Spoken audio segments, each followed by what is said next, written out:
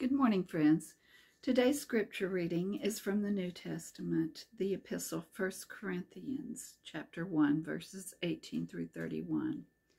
For the message about the cross is foolishness to those who are perishing, but to us who are being saved, it is the power of God. For it is written, I will destroy the wisdom of the wise, and the discernment of the discerning I will thwart. Where is the one who is wise? Where is the scribe? Where is the debater of this age?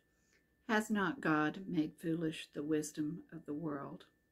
For since in the wisdom of God, the world did not know God through wisdom, God decided through the foolishness of our proclamation to save those who believe. For Jews demand signs, and Greeks desire wisdom. But we proclaim Christ crucified, a stumbling block to Jews and foolishness to Gentiles. But to those who are the called, both Jews and Greeks, Christ, the power of God and the wisdom of God.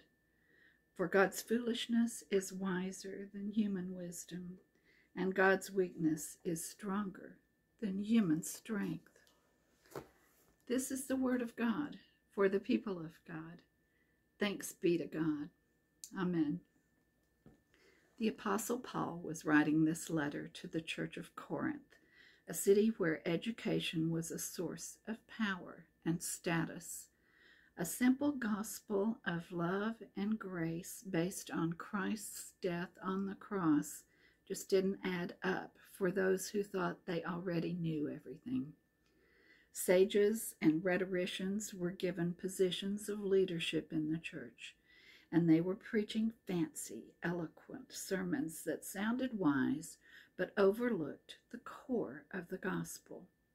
There was division in the church because people weren't sure which apostle they should follow or whose wisdom was the true wisdom.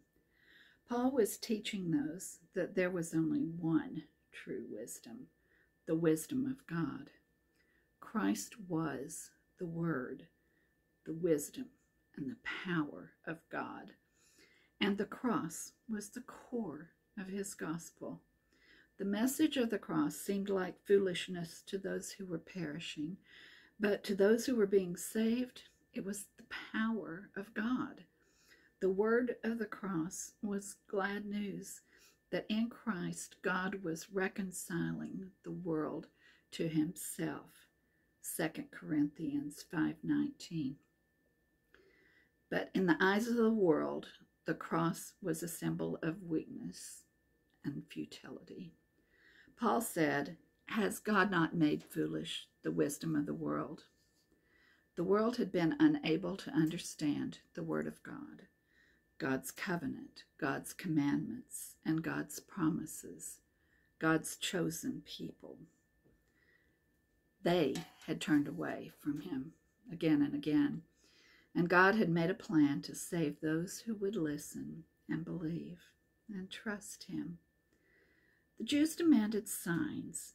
In today's gospel reading, where Jesus cleansed the temple by overturning the tables of the money changers, the Jews asked, what sign will you show for doing this?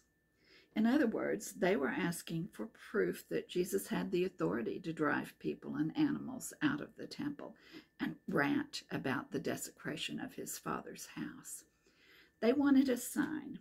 They wanted evidence that he had some kind of power that would make them think him worth listening to. They wanted to see or hear something that made sense to them Instead, Jesus gave them a strange answer.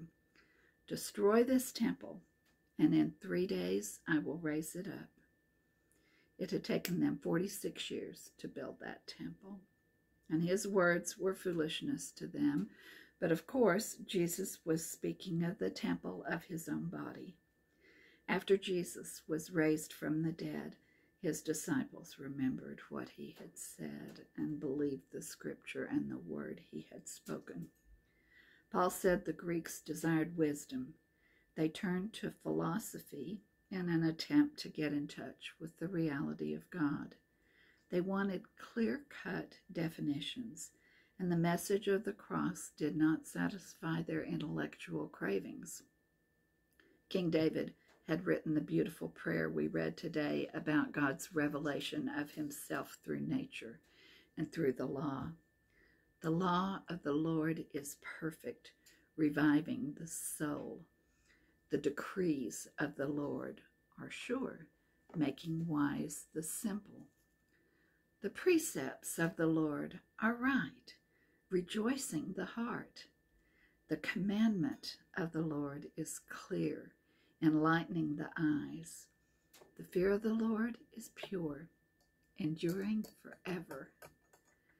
The ordinances of the Lord are true and righteous altogether.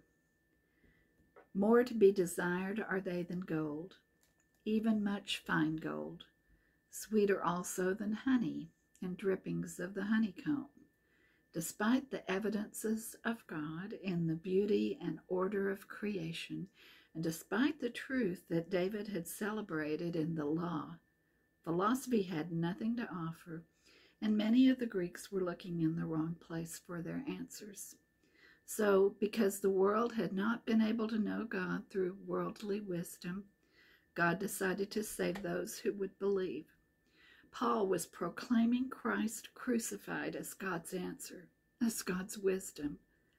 Although that message was a stumbling block to those who saw it as foolish, to those who believed and answered the call, Christ became for us wisdom from God and righteousness and sanctification and redemption.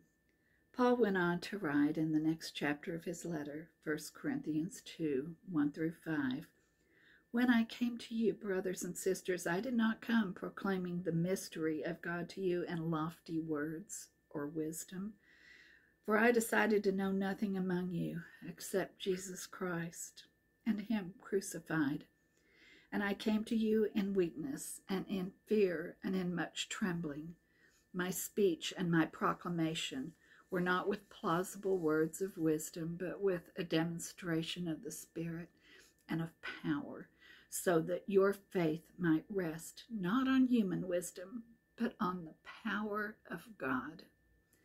The life of Jesus was given for us on the cross because God was not willing for false wisdom and false power to have the final say. The life that died on the cross is the source of our life.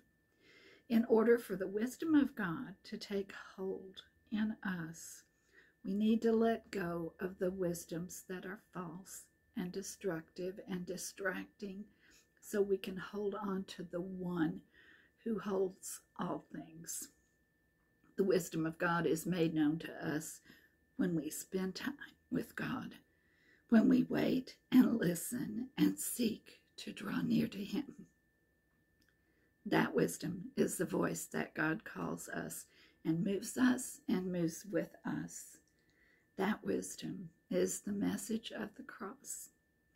That is the message that I have been called to preach repeatedly it is the message that we all need to hear and hear it again about the God who loves us so much. He sent his only son to die on the cross in our place and to buy the pardon for our sins so that we might receive his promised eternal life. It is the message of Christ crucified, to be sure, but it is also the message of him resurrected, victorious over sin and death. Martin Luther said, Learn to know Christ and Him crucified. Sing to Him and say to Him, Lord Jesus, you are my righteousness. I am your sin. You've taken upon yourself what is mine and given to me what is yours. You have become what you were not, so that I might become what I was not today and every day we are together, I want you to feel welcomed and invited to know, to love, and to trust in the one who died to set us free from sin and give us new life in him.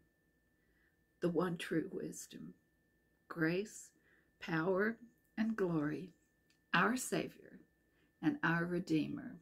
Hallelujah and Amen.